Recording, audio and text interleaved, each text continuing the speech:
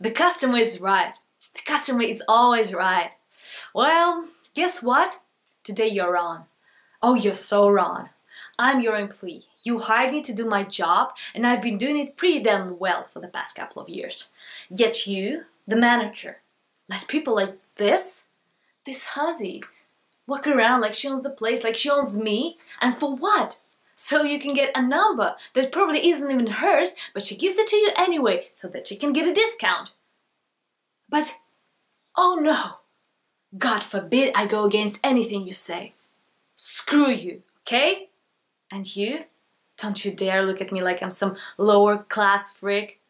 I just happen to be unemployed at the moment, giving me a perfectly good idea to kick your overly priced bum. Let's see how much of daddy's money will cost to replace it.